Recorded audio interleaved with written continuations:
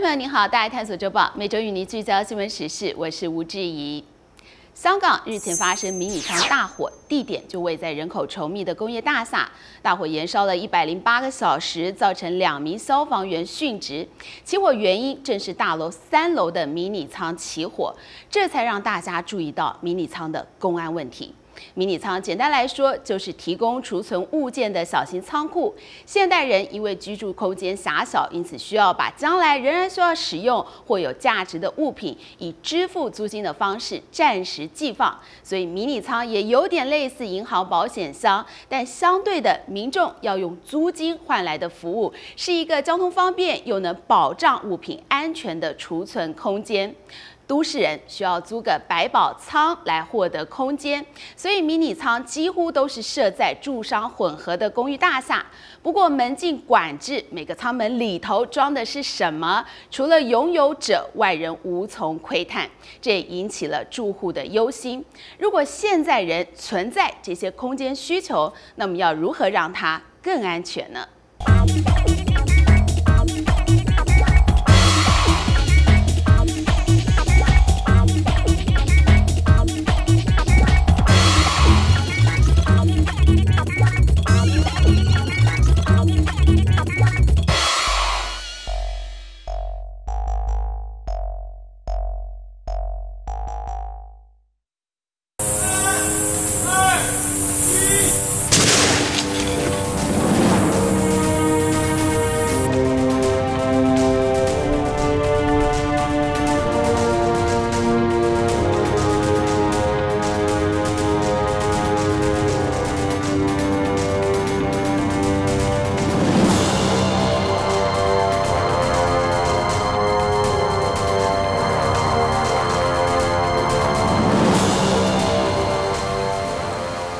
仓库它本身是相通，所以它火势有可能会蔓延。那再加上它一间一间，你不容易达到火点，所以相对的，它在整个救灾上面是一个非常困难的一个环境。哦，那当然在迷你仓库里面呢，它其实它的问题非常复杂，包括它里面会放什么东西，你也不知道。好，那我觉得这不单纯只是消防的问题。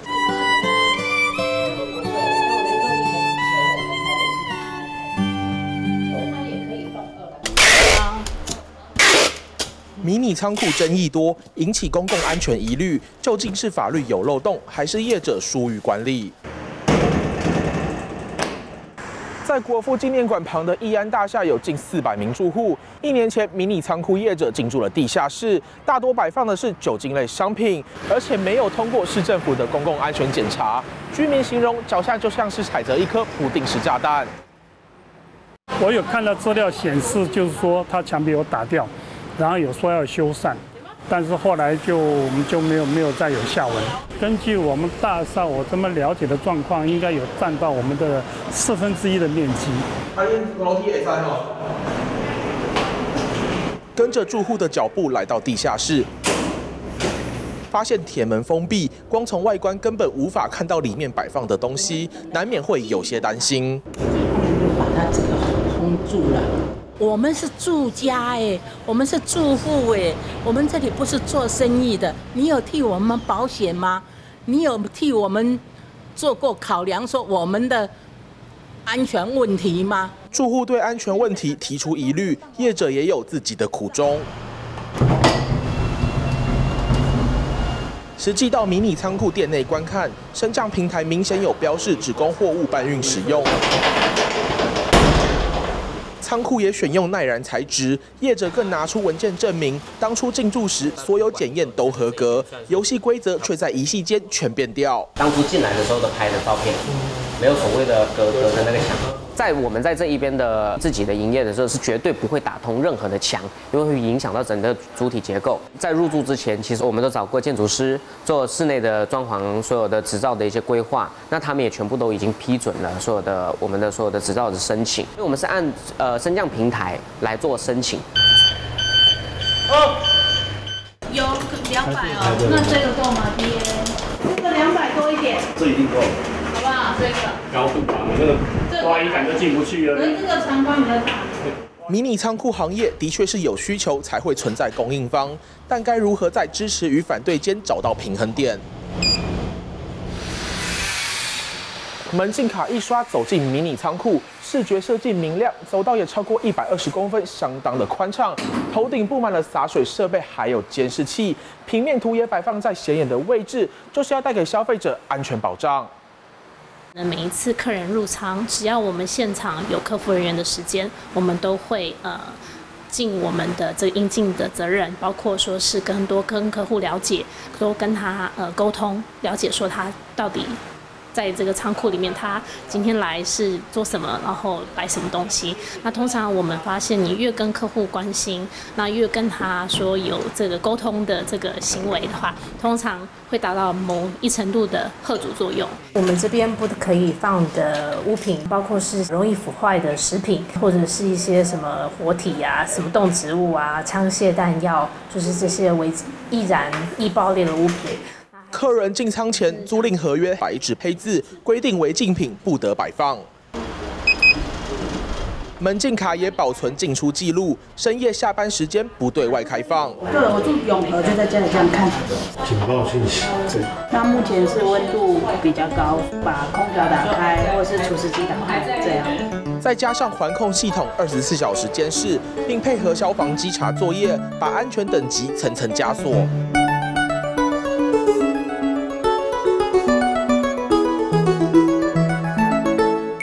们在年度的检修申报书都会要求业者就是要制定它的平面图，供我们日后消防抢救单位啊入室抢救的时候，能够有一个啊一些资料啊来作为一个抢救的一个时效跟位置的判断。那当然也会建议就是呃业者应该每个月啊都应该要自主的去检视呃客户存放的一些物品到底实际上跟呃内容物跟它的清单是不是有一致。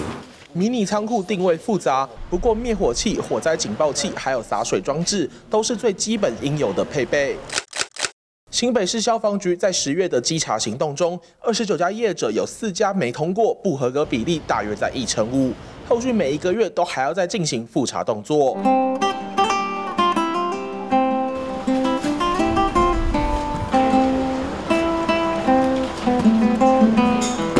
着社会转型，新形态的行业要顺利发展，还得靠业者自主管理以及法令规范，双管齐下，恐怕才能够让同一栋大楼的住户们住得安心。台北市人口密度高，居住空间小，你一定也有家里东西放不下了，又舍不得丢的苦恼。如果是网络卖家，也需要空间来囤货，迷你仓自助储物的服务，等于解决了民众居住空间不足的问题和业者方便出货的地点需求。这个呢，国外的拍卖仓库节目很出名，它其实也类似迷你仓，只是空间较大。每个竞标者都想尽办法竞标看起来潜在高报酬可以获利的仓库，因为不少人会把自己的收藏品存放在这里。好比这些精致的公仔，小钱帮有需要的人创造了大空间。这空间里究竟有哪些有趣东西呢？想想花小钱租一个仓库，你该如何用它创造最大的 CP 值？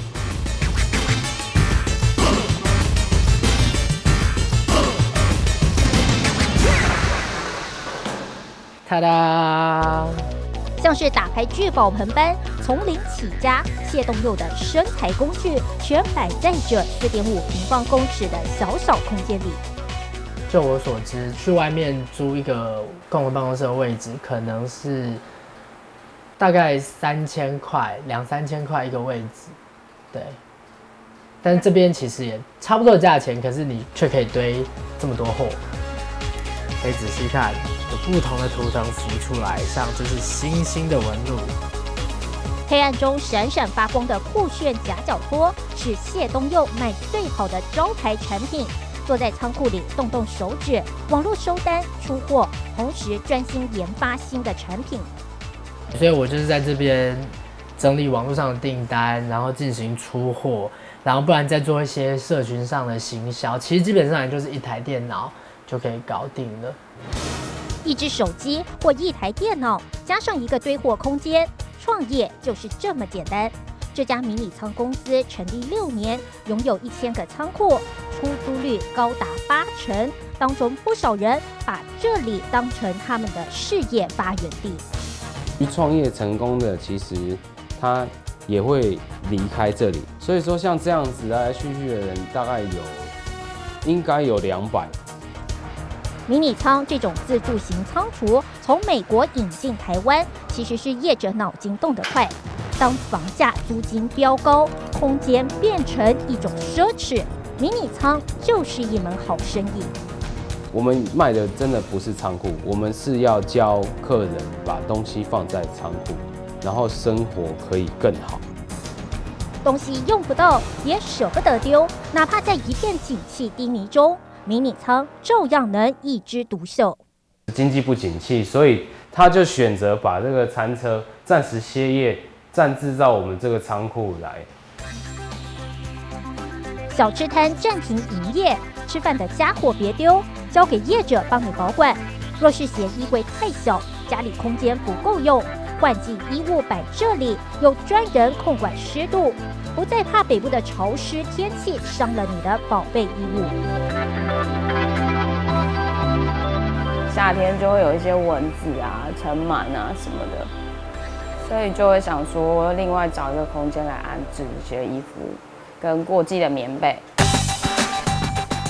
所有你能想到的，几乎都能放。业者打趣地说：“他们的竞争对手不是同行，而是垃圾桶。”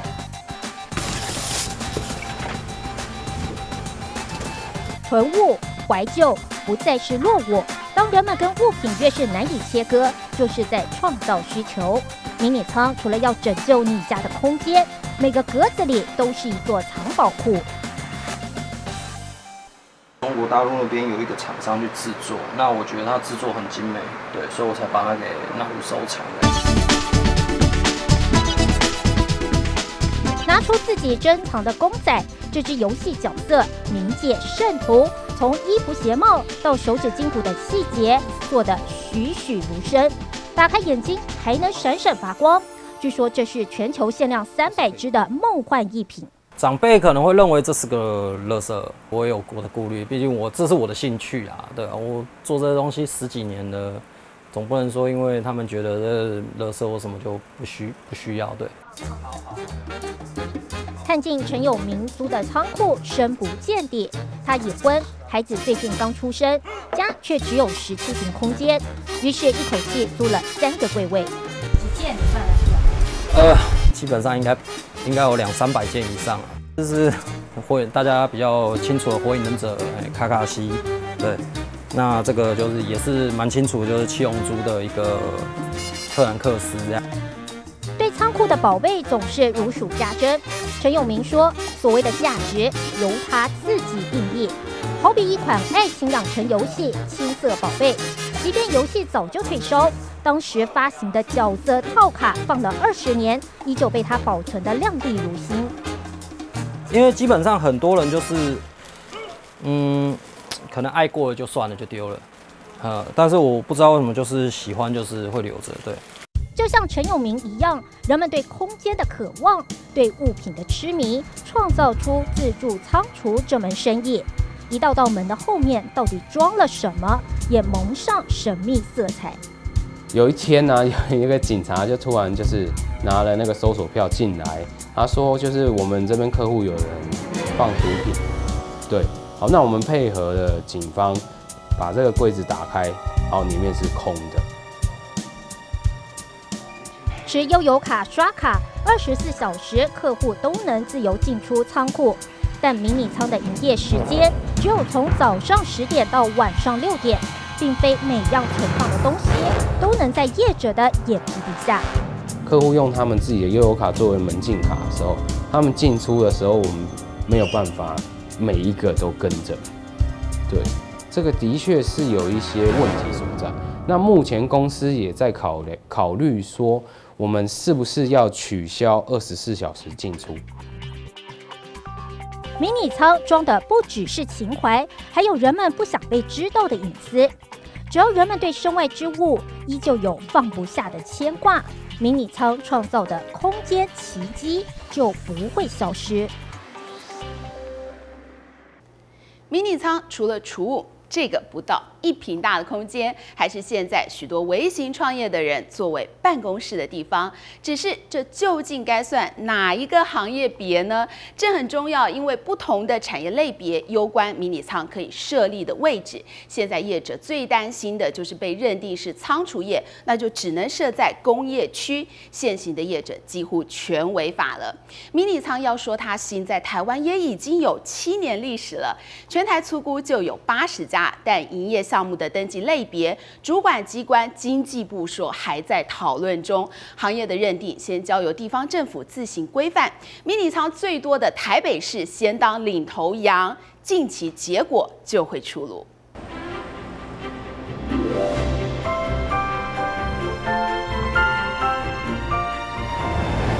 忙碌的台北市街头，地下神筹，土地价值也翻倍。但有个地方隐身在精华地段的大楼里，专卖名空间。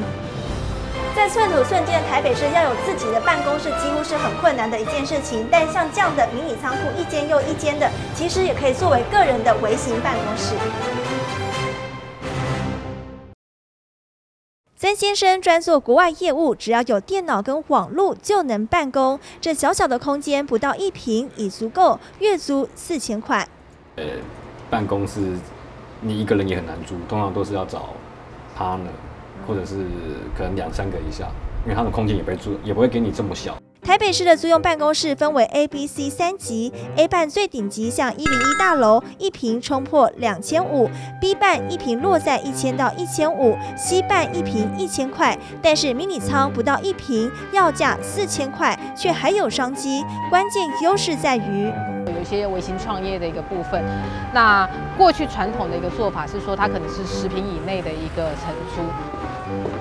迷你仓每平价格虽高，但市面上小型的办公室承租几乎在十平左右，换算下来一个月的租金还是破万。当初我们用了这一个点，就是因为在我们这边也有蛮多人有办公室的一个需求，所以在这一区里面我们设计一些比较多类似 co-working space，所以会看到有一个开放式的一个空间，那客户都可以在这边免费的做使用，他们可以这边洽谈啊、包装啊、理货啊、跟客户签约。样的空间不只是拿来放东西，现在还有进阶版，像现在这样有一张桌子，还有对外的窗户。有人把它当成小型的 K 书中心，也有人当成是微型办公室。真的仓库，因为那个地方都是给你一个，他们不用。这里并不是典型的迷你仓库经营模式，锁定的对象是网拍业者、微型创业，强调多元服务。那他以前他是自己在那个下班的时候去那个捷运站做面交。但是现在透过我们来委托帮他做面交，甚至他自己的工作还可以目前在弄。把东西放这里，还有人帮你卖，替你介绍。迷你仓业者除了担任一天八小时的管理员，还变成拍卖帮手，但加持服务当然要额外付费。一个月业者收服务费四千八百块，提供寄换货服务，介绍一台防水相机的介绍费收一百块。仓库的月租金原价是七千零八十元，年缴打折后月租五千块，加起来划算吗？其实我们的价格就算一个月算下来，也不会比一个工读生现在最低工资也要二两万一千多啊。省了人事成本，这里不但成为网络卖家放货的仓库，还是另类的实体店面，而且还有现成的店员，让这家迷你仓业者业绩快速成长。短短三年，资本额从三百万上升到三千万，还从一家店拓展到现在的七家店。我像我们公司自己也有，去年也有申请政府补助。当时都政府都很鼓励我们，觉得你们是新创公司、新创物流、新创的一个一个服务项目。但是那个当初一夕间全变了调，初步全部人仓储业，那就是因为这样变，大家都被突然一夕之间就变得不合法。因为仓储业是不能在商业区，也不能在住宅区。但是我们业者里面百分之九十都是在商业区跟住宅区。受到公安以及舆论压力的影响，全台迷你仓业者开始被关切。事实上，民国九十七年时，针对迷你仓，经济部商业司曾经发函给地方主管机关，要求根据经营形态分为不动产租赁业、仓储业、租赁业或是银行保管箱，但可以复选。因此，当时几乎每一家业者都被认定为复合式。他如果有复合式的话，我就会认仓储啊，不动产。啊，有有时候有，只要有有满足经济部上面的函释的话，我都会认。因为当初大家都是你每个都申请，我又有仓储，我又有不断的租赁，我又有租赁业。就会变变成说现在的这个产生的问题，原因在这里，因为他现在当初并没有要求我们只能够选一个类别去做登记。大部分的迷你仓都有好几项的营业项目登记，因为不属于特种行业，过去都不在稽查名单内。但自从被关切后，才发现根本不符合现行的土地使用分区规定。依照都市计划法，仓储业依法只能设置在工业区，但若是不动产租赁业、租赁业或是银行保管箱，相对来说限制少，但在土地使用分区上是从严认定。有认定他同时做了数种的使用或是数种的行为，那都会很清楚的载记在在计核表上面。只要载记的项目里面是有出现跟都市计划土地使用。管制的规定不符的项目，我们就会依照都市计划法去裁除。目前全台湾的迷你仓约有八十二家，台北市就高达四十家，而且有八到九成都是在商业或是住宅区，甚至是住商混合。也就是说，依现行的规定，只要营业登记项目之一有仓储业，迷你仓业者就是违法。一个这样的，你如果把我们搬到比如说五股工业区，搬到三重工业区那边，你去看到处都是仓储业啊。那我们这种东西到那边营业没有意义啊。那当初这个行业就是因为在住宅区、在商业区有这个需求。临时的小 meeting 大概一个小时到一点五个小时的会议，然后通常是一些比较啊陌生的的客户，然后我就约在这里。对啊。有需求就有商机。今年二十八岁的杨先生是一家眼镜设计公司的经理，跟朋友一起创业。他们的库存现货不是放在工业区的仓库里，而是刻意选在位于商业区的迷你仓库。因为我们是配眼镜，线上配眼镜本来就是比一般实体店面可能会花多一点点寄送的时间，所以我们现在这边配合的话，我们可以减少很多寄送的时间。就是可以缩短个一两天，然后让客人更早拿到他的眼镜。迷你仓在美国、日本跟香港早已经风行多年，而在台湾其实也有七年的历史。行业类别的归属认定还在检讨之际，业者已经收到改善单。问其中那个新北市的那个承办，他就说：“那那你就先去缴了，那就你只能先缴了。那能怎么办？那我们有业者，有几个业者听说已经有缴第一，因为第一笔是六万，第二笔是三十万。那他意思就是说，你们就先缴。”然后，如果真的到时候发生了一些变化，就再打诉愿嘛。目前我们已经开过一些会议，那未来我们针对迷你仓库的这种业别，我们会给它一个定义哈，例如自助储物空间等等，我们会有明确的定义跟范围。台北市府强调，未来将用行政命令的方式，针对迷你仓库新增行业别，独立出新的业种。未来可能有条件开放设置在商业区。至于中央机关经济部何时能做出行业认定，还没有定案。只是中央与地方如果步调不一致，业者恐怕无所适从。迷你仓和传统大型仓储业提供的储存服务不同，消防规范当然也不一样。不能只是租个百宝仓，还要是个安全的百宝仓。业者想要有更大的发展空间，前提是提供更完善的防火和安全规划，加上更严谨的官方控管，毗邻而居的住户也才能住得安心。大爱探索周报，我们下周见。